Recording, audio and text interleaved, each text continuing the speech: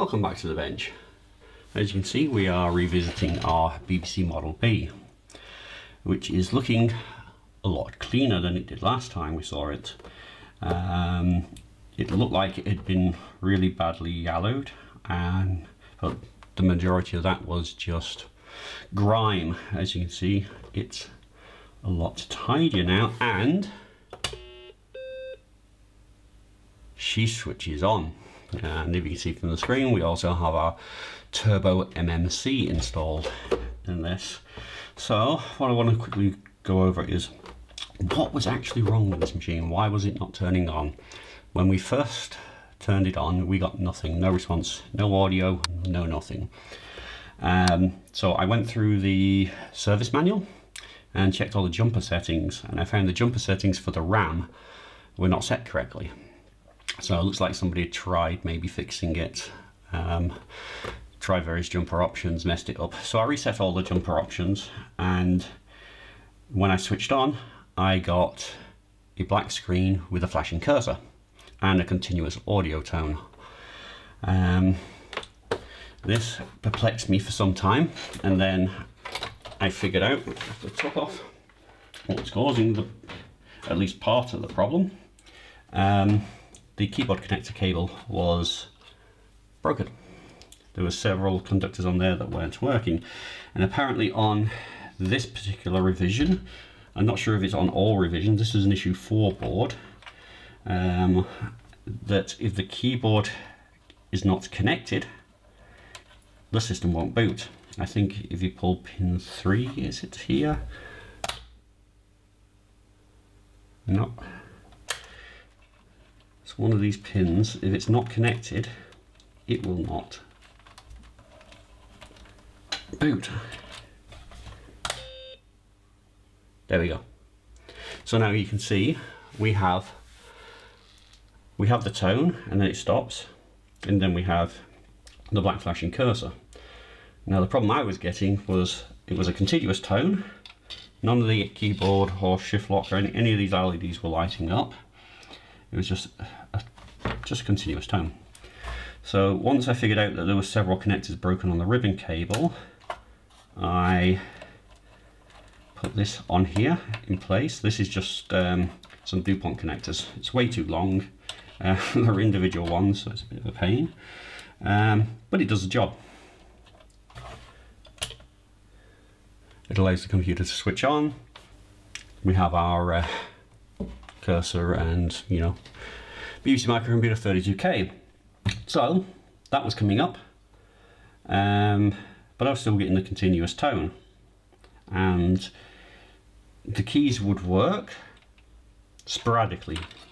So I thought the issue was a keyboard, so I actually spent ages um, going over, working on the keyboard, thinking that it was a bad solder joint somewhere on one of the main traces. Um, led me down a few rabbit holes, um, but it was um, nothing to do with the actual keys themselves. Um, one of the problems was this chip here, the uh, 74LS163.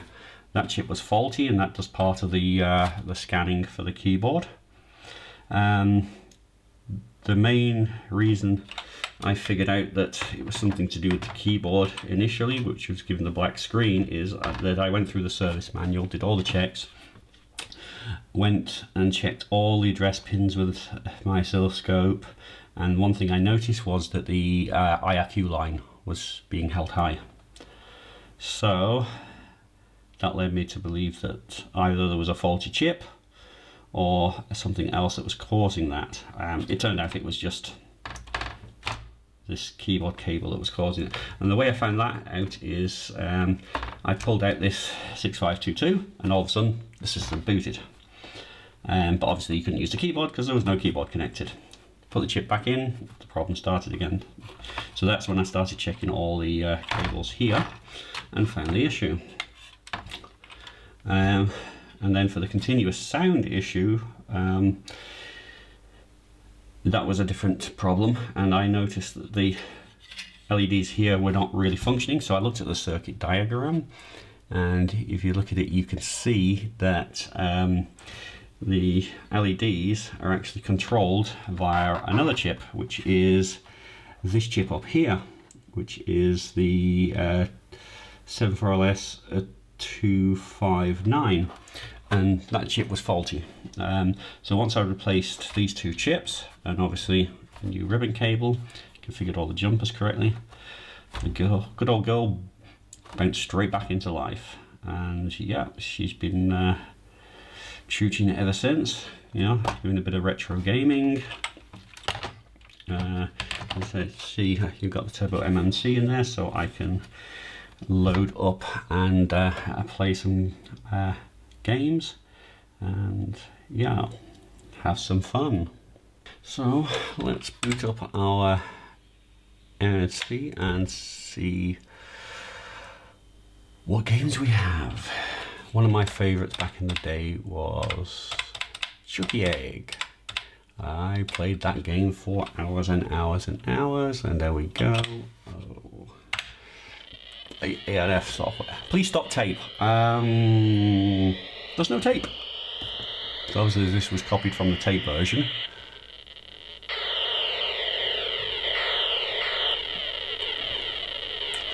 A&F Software presents Chuckie Egg.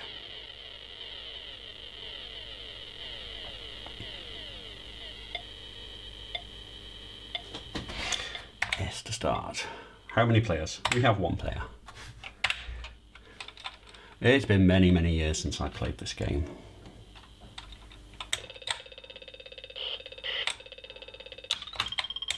Oh.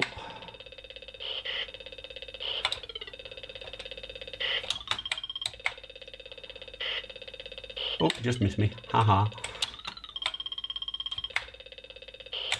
uh, no. Is he coming down? Yeah. And his friend is too.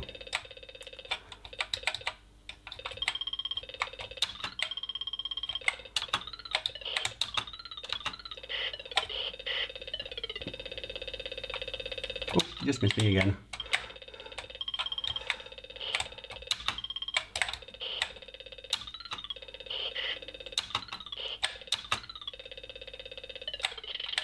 Seems I don't, uh, haven't lost my mad chuckie egg running skills.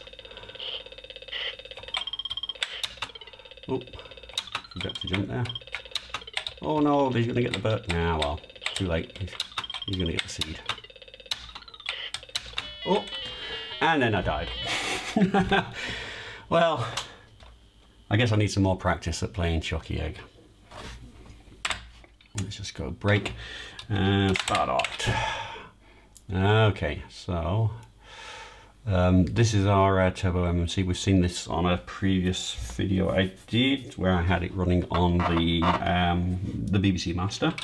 So to change discs, you just do star D and then say, let's go to disc 10. Start.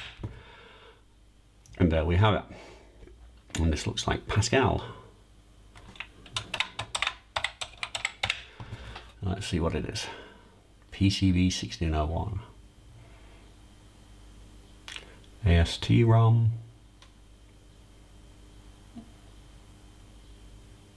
Now it doesn't seem to be wanting to boot. Okay, well, we can look at that another time. Um, another common thing with these boards is the ashtray. And if you remember from the previous video, this thing was had been punched out. I still had it, luckily, um, but somebody had done a really, really, really bad job of um, putting some parcel tape or something on there underneath to hold it on, which obviously didn't work because, you know, you could press it and it would just go straight back down. Um, I'll turn it over. This is the, uh, the RAM board, which I've reattached to the underside of the lid.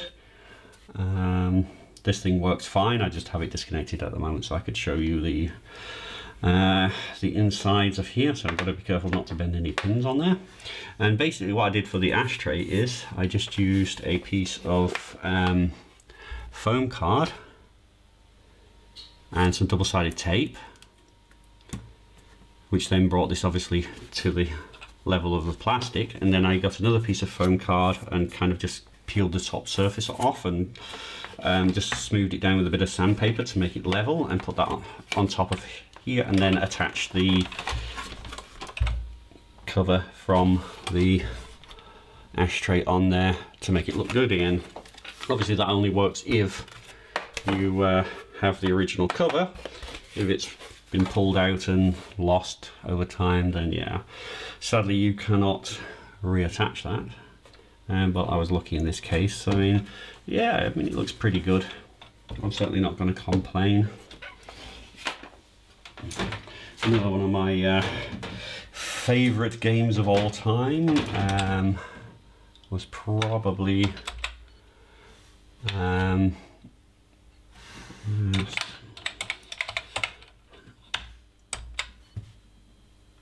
no. Sometimes it doesn't like.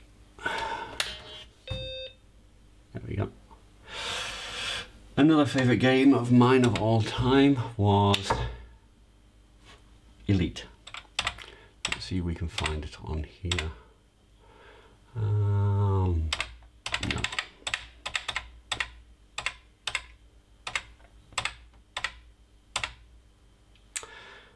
Okay. Is it on here? Yeah, there we go. Elite.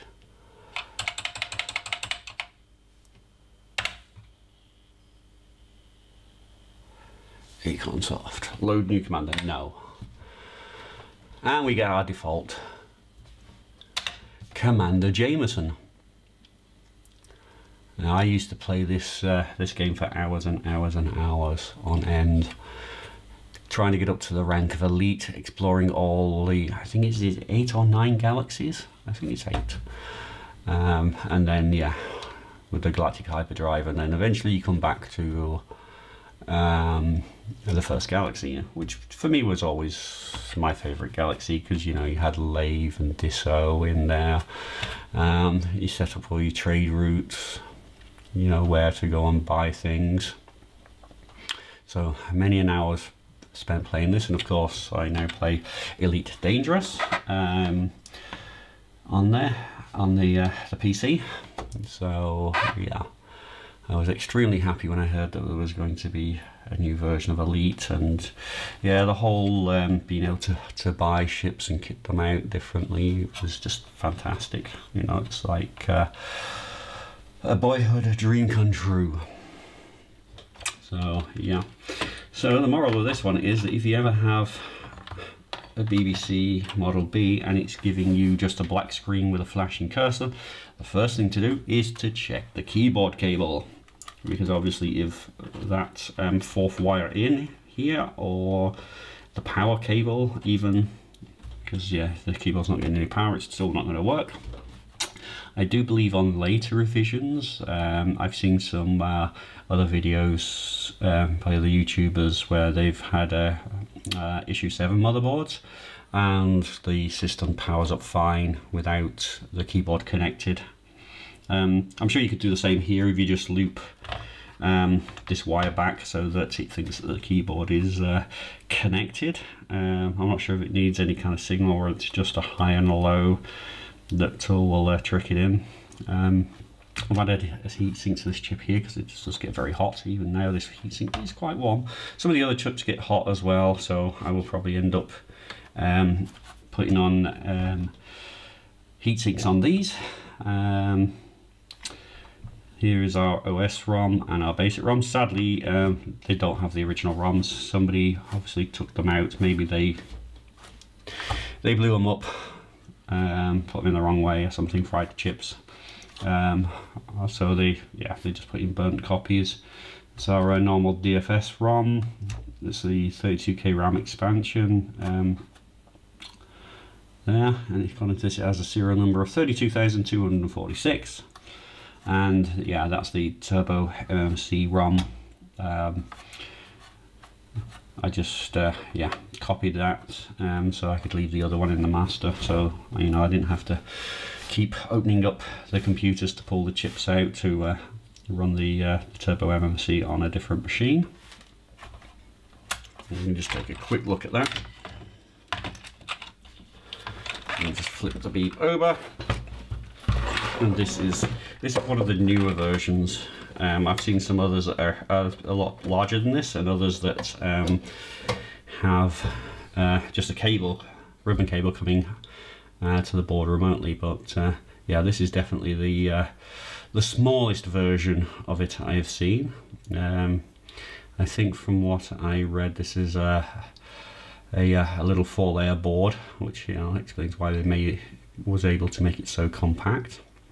But yeah, this is you know a great thing, not only for uh, so you don't have to have a you know the disk drive set up, um, but if you do have it set up, you can use it for archiving your old discs, like I showed in, in my uh, one of my master videos earlier. So I'm going to go and have a bit of fun and play a bit more Chuckie Egg, maybe a little bit of old school Elite. Um, and yeah, maybe introduce the uh, kids to a little bit of uh, retro computing, you know, show them the games that uh, their father used to play when he was a boy. Um, could be interesting. So for now, thank you for watching. If you enjoyed the video, then don't forget to uh, like and subscribe. And um, if you have any friends who you think would like this kind of content then you know please uh, you know let them know and uh, they can come and take a look and uh, if they're interested they can uh, subscribe. As always thank you for watching